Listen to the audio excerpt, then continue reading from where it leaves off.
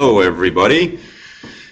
Thanks for coming again today. So uh, this is our fourth webinar, and, and some, if not all of you, have had a chance to see the first few that we've been doing. We've been talking about the, uh, the Africa to America's uh, rowing event that's taking place right now. The Canadian Wildlife Federation is sponsoring these four fellows rowing across the Atlantic Ocean. And we're taking this opportunity to, to talk about what the ocean is, how it works, how we affect it, and today I want to talk about what you can do to actually help it and what we talked from what we talked about the other day. So I'm going to get right into it. There's a lot to talk about here. So once again, quick introduction. My name is Sean Brilliant. I'm the, the manager of the National Marine Conservation Program for the Canadian Wildlife Federation. My background is marine ecology, marine biology, and, and uh, I've, I've had a chance to study and play with organisms in the ocean for the last uh, 20 some years now. I'm based in Halifax, Nova Scotia, and I'm on I'm in the oceanography department of Dalhousie University, where CWF's marine program is based. So, just as a quick aside, I decided to I started to think, oh, maybe I should take a look at how you guys are actually physically connected to the ocean, and I wasn't sure whether you guys even knew, or and I certainly didn't know either. But my best guess is that you're around here on our country.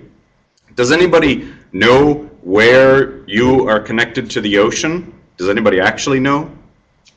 Does anybody want to guess? Are you connected to the Pacific? Are you connected to the Atlantic? Are you connected to the Gulf of Mexico? Yeah, some of you may know, some of you don't. I'm going to show you here. Okay, so here you are. Here's Canada's watershed. And I think you can see right here here where your connection uh, to the ocean is. Sean, you just heard me come in now with a microphone. Here you are. Because one of the young gentlemen said connected to the Pacific. No. Pacific. Does that look like the Pacific Ocean? No. Connected to the ocean. Which ocean? Hudson Bay. Which ocean is Hudson Bay connected to? The Arctic Ocean. Yep. Or at least if we take a look back, certainly somewhere between the Arctic and the Atlantic, it eventually spills out into the Atlantic, the Hudson Bay more specifically, which is an inland marine water. So that's where you guys are connected. That's your physical connection from where you live to Canada's part of the ocean. So just something to keep in mind. But you have lots of other connections to the oceans too, and that's what I want to talk about today. Here's what we talked about in the last webinar. You know, the various uses we have for our oceans and sort of the abuses that come along with these uses and and you know overfishing and we use the ocean for transportation but there's bound to be ship strikes with wildlife and there's oil spills and we live on the ocean so there's coastal development and we produce sewage so there's sewage outfalls and CO2 issues because of our fossil fuel burning but really, I got looking at this and I was thinking, everybody sees these things, and what do we do about them, right? Like, what can you guys actually do about it? You're grade seven, grade eight class, and you know, you're looking at, well, what can I do about habitat destructive fishing or coastal development or litter and plastic? And that's what I want to talk to you about today. We're going to go through several, I think five different things I have that I want you to, to do. And here's the first one, and you're already sort of doing it. Learn about the ocean and then more importantly, talk about the ocean. More specifically, I'd like to see you educate yourself, inform others, and influence others to understand what those connections are. So you don't need to be a marine biologist to, to, to study and affect and protect and conserve the ocean, right? I can have discussions with people about how they should fish. I can talk to fishermen about different ways that they should fish. I can talk to the government about making rules for how they can fish or how they should protect different areas. But you can sort of do the same sort of thing. You don't need to have these specific rules, but you need to want that to happen. And by you telling, knowing what you want to happen and telling people what you want to happen, that makes a big difference. There's a lot of wildlife out there. You have the right, you have the right actually to say what you want done with these, with our oceans and with this wildlife. The oceans are owned and the wildlife in them are owned by all Canadians. They are managed mostly by the federal government on our behalf, but you have the opportunity to say how you want that done. Now is a little bit weaker. Uh, um, you're sort of a pre-voting age and, and you're only sort of coming up and coming of age, but you will make a difference. And if you tell people that you want things changed, whether they are the decision makers locally in your municipality or provincially, You know, and even your province doesn't even own a piece of the ocean, and also federally, you're a part of this country. You have a say in how the ocean is done and, and what needs to happen. You can also speak with industries about how they do things. A lot of what happens in the ocean happens because we as a society want things done and these uses and abuses of the ocean happen because of that. So it's only by communicating this and it's only by being aware of it that you can make a difference. So that's the first thing. That's the first thing. The next thing you can do, reduce energy use. I know you hear this all the time. People talk about climate change and they talk about CO2 reductions, but this is a legit thing. We really need to find ways to reduce our energy use. We did the survey the other day. I think everybody uses or is uh, has the privilege of using a car and being moved around. People talk about electric cars and opportunities for new technology and ways to, to solve these problems, but it's not always going to do it. We need to make big changes in how we use energy. And we need to make sure we don't fall into the trap to think we're actually doing enough. There is always more to do.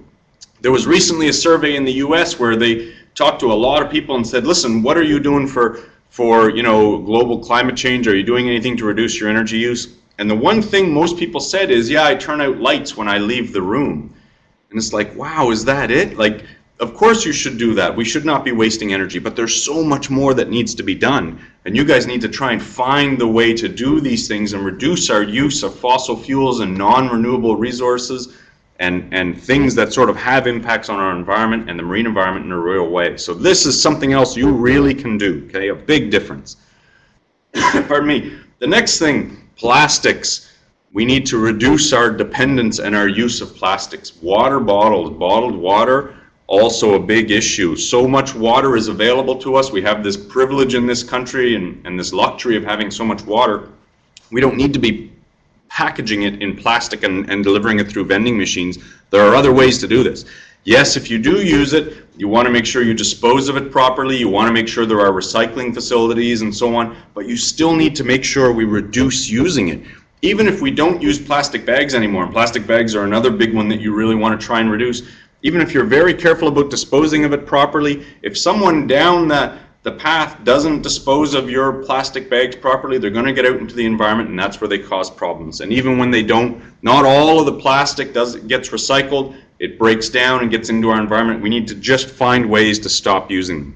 They have plastics have benefits, of course, in terms of food safety and health, but we've had we've had products and food for many many years and we need to we need to look for when there is over packaging and unnecessary use of plastics and unnecessary use of, of packaging and look for ways to reduce that. And more importantly, coming back to my first point, is telling people that you don't want it this way.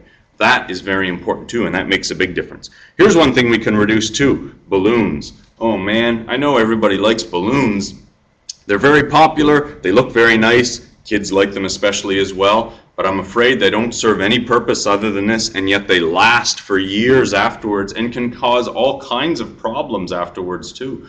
Balloons are things that, that we really need to see if we can find a way to eliminate and maybe find an alternative to. I was looking for pictures of balloons to show you a picture of balloon while I talked about this, and I found this picture. This is a wallpaper for someone's computer. You can actually put this on your computer. And I thought, is this supposed to be a good thing? Look, there's like 200 balloons being released into the atmosphere and watching them float away. That's this is like a nightmare wallpaper for me. I couldn't believe how terrible looking this is. Yeah, it looks very pretty, but we need to start to become much more conscious of what the consequences of our actions are. And this is this is one that we really don't need to do. We need to find ways to to, to change that. Okay, next one, seafood. This is a fun one. This is what we need to do with seafood. So um, we did a quick survey of seafood eaters. There were a few seafood eaters in this class, I think, from the last, but I'd, I'd be curious to know how many people eat marine seafood, not just um, not just fish, but you know, marine fish or lobsters or clams and so on. You buy these things from the market, or you go to a restaurant and they get served to you in a restaurant. The new social norm when you're eating seafood is to ask what fish it is, how they caught it, where it came from. This feels foolish. In fact, my colleagues at Canadian Wildlife Federation are embarrassed to go eat with me when I go to these restaurants because I make them ask questions and say, where did this, what kind of fish is this? And where was it caught? And, and you know, where did it come from? And how was it caught as well? don't be afraid to ask these questions. This is wild food. This is food caught in the wild and brought to our table for us to eat. There's not much food that is like this anywhere. Most of our food is raised on farms and, and so on, but seafood is not this way. If the servers, if, if the, the, you know, the serving staff don't have the answers, they can go talk to the kitchen staff and see if they have the answers. If they don't have the answers, you can't, you shouldn't buy that. You're buying something you have no idea what the consequences are. So don't be afraid to ask it because it also educates people. It makes them aware that they have to have this information. Now, what is good and what isn't good to eat is much more challenging, right? Rockfish is a is a slow growing fish that's endangered, but they still fish it in some areas. There are some species of sharks that are critically endangered, and yet there are still fisheries that are going on for them. There are some fish you clearly shouldn't eat, and there are others that are okay to eat. And to decide which those are, you need to you need to learn. You need to educate yourself. You need to look at options, and there's a variety of uh, recommendations and sites out there for telling you what fish are okay and which ones aren't. The same is true asking about how the fish were harvested. You know, was it was it dragged from the bottom? Did it did you catch hundred you know kilos of shark, but you caught a thousand kilos of bycatch that you threw back into the ocean that died? That's not an acceptable fishing method. You need to educate yourself about what fishing methods are acceptable and which aren't. But, but that's a whole other discussion, and it's stuff that we need to have. It's a responsibility that we all have to know these things and make these decisions, so that the decisions we making we know what the consequences are of the decisions we're making. Here's a neat story. Here's a fish um, I'm curious, I wanted to find a picture of this fish to show you guys. And I'm curious to know if anybody knows what kind of fish this is. And while you're deciding if you know what kind of fish this is, when I was looking for a picture of this fish online, I could not find a picture of this fish. I found pictures of this, and I found pictures of this, and I found pictures of this, and I even found pictures of this. But the fish itself was so hard to find. I couldn't find an actual picture of it. Does anybody know? I'm just curious. You don't even need to tell me. I'm just curious if anybody knows what kind of fish this is. And I'm being really unfair here because this is a very common Atlantic fish, commonly eaten here, so you, you may not get it there, but I know it is distributed across Canada as well. So um, in case you haven't figured it out or you may not know, and, and I wouldn't be surprised, this is a haddock haddock is a very common fish that we eat here in the Maritimes. And when I talk to, to students and adults here in the Maritimes and I show them a picture of a haddock, they don't know what it is. They recognize a haddock like this. This is how they tend to see it because we don't tend to see our food as, as wildlife, especially our marine food, pardon me. And that's a big challenge too. What is seafood and what is wildlife? Here's a cod. Is a cod Canada's wildlife or is it only food, something to be harvested? What about bluefin tuna? Crab, snow crab. What about lobsters? Do we ever even think about lobsters as being wildlife, or are they simply something that lives in the ocean that we have the right to go scoop out and eat? I don't know about if we have the right to go scoop out and eat, but they're certainly both. They are things that we eat, but they are also a part of our wildlife heritage. They are actually wildlife, and we need to treat them that way and understand them that way too. Doesn't mean we can't eat them, doesn't mean we can't harvest them, but we need to recognize that they have a greater status than just simply existing there so that so that we can harvest them and sell them or, or eat them or something. And we need to keep this in mind.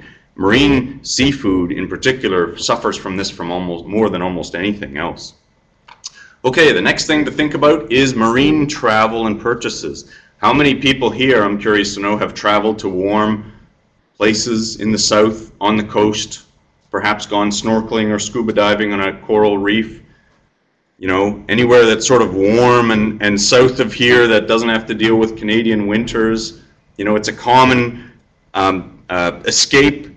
Uh, cruise ships are another one I have. I've gone both to uh, uh holidays in the south and on the coast. Eight, very interesting. Nine, nine, very interesting. And a cruise. I've even gone on a cruise ship as well. So we all we use these things. These are something that we do, but we need to be aware of the consequence, and three on four on the cruise ship. Very interesting. So, we need to be aware of what the consequences these are as well. Many of these resorts, for example, in the south, are built on beaches. Are they natural beaches or not? Were those beaches used by wildlife or not? Turtles, for example, nest on these beaches. Have these turtles lost habitat because there is now a resort there where we attend? These are just the questions you need to ask. I'm not. You don't need to feel bad about them. You don't need to make other people feel bad about them or or assault them with this information, but you need to know what the consequences are of the decisions we're making and try and make better ones as well.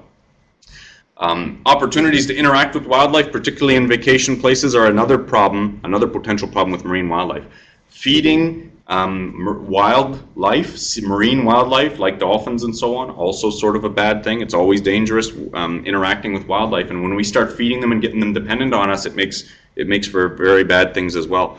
Diving on a coral reef is is mind blowing. It is absolutely amazing. It is one of the most amazing things to see on this earth.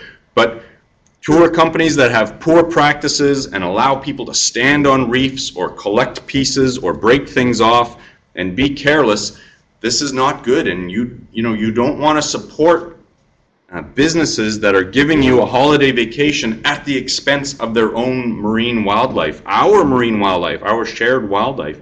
And you, you can't do it. There are lots of opportunities and there are lots of places that do a good job of this. And they're learning more and more that people are aware of this right? Before they weren't aware of it, we didn't think anything of it. There was lots of coral reefs. We thought we could stand on them and we wouldn't hurt them. Well, it turns out it does hurt them and we can't do it that way. There needs to be a new way of doing things and you need to be informed and understand what those ideas are and what you can actually do.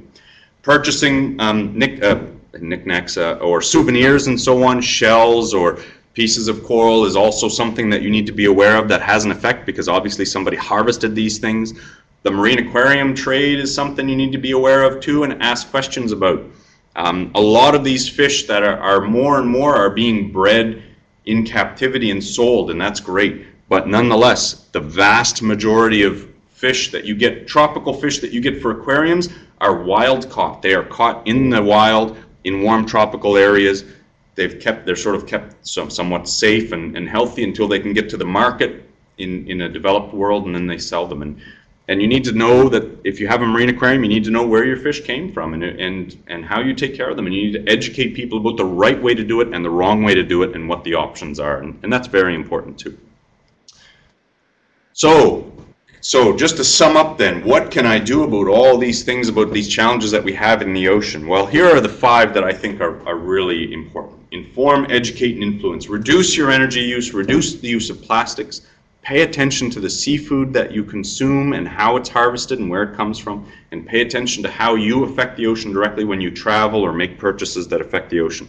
And really, this first one, inform yourself, educate yourself and others, influence others to do the right thing and understand what the right thing is, or learn for yourself what the right thing is too. And everybody has a role in this. It's not simply people who like the oceans, people, marine biologists who study the ocean. You know, it, it doesn't matter what your role or position or what you do in life is, you have a role in accomplishing all of these things and, and helping to preserve wildlife.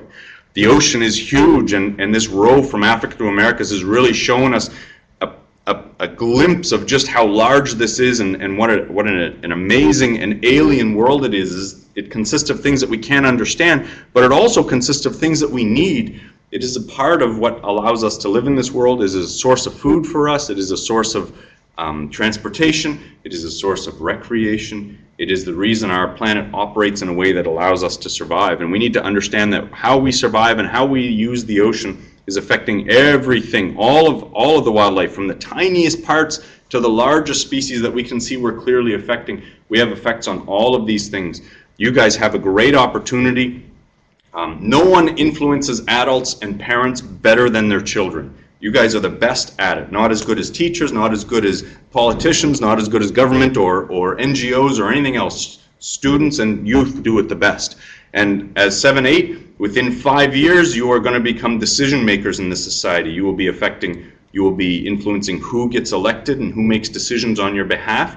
You will be in jobs and positions that make, make actual decisions that affect how individuals and business and society affect our environment, including how it affects the ocean. And you may go on and study further and get more involved in, in more specifically uh, how to how to conserve wildlife and conserve our natural resources. So you guys are you guys are in a in a point where you are just coming into learning what your influence is going to be and how you can make differences in the world and to make sure things are done different than how they have been done up to this point and the mistakes that have been made so you have a chance to correct them and don't forget that because you have a lot of opportunity ahead of you so that's all I'm going to say. Listen, it's been really great giving me a chance to talk to you guys about these things. I love having a chance to talk about them. Um, if anybody has any questions now, I'll certainly take them. But if you have a question down the road that comes up, here's my email. give me a call or, or, or send me an email. I'm happy to help you out any way I can. And if you have any questions now, I'll ask, them- answer them as well. Thanks, Sean, for all that. You're gonna hear that tinny sound in the background now as I've opened the microphone here.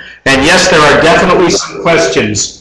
We have one right in the very front. Now, I'm gonna turn the light on for this so you can actually see what it is. Now we don't turn the All right. I know, you're all vampires and now it's hurt. Okay, sh- now you gotta speak loud. Okay? How how long have you been a marine biologist? Well, they don't, um, they don't, uh, stow the title on me or give me a tattoo or anything. It's, uh, I started studying marine biology, um, probably a little over twenty-two or twenty-three years ago. And then, uh, after I went to school, university and studied marine biology, I immediately started working in different, um, different fields related to it, doing surveys for shellfish and so on. Anyway, it's been about 20 years that I've actually been employed as a marine biologist and doing research on marine biology. We have a question way in the back there as well? Did you have a question? I thought I saw your hand go up. Anyone else with a question? Nobody with a question? Everybody's happy campers. I guess that major essay that you've got them doing shortly, they've got all the answers for. They have all the answers. They have all the answers. Excellent. Well, Sean, I love, I thank you for your time that you put into this. Uh, it's been fantastic, the four webinars you've done with this group. Uh, and I've enjoyed it. I've learned a lot as well. And going from there, and I do, I do come from a place that is waterlocked called Southern Ontario originally. So I'm used to water, but I want to thank you on behalf of everybody here and look forward to other things in the future with you as well. Thank you very much, Sean. It's been a real pleasure. Only an email away if you do have And remember, if you've got any questions or anything in the future, please feel free to contact me. That's right.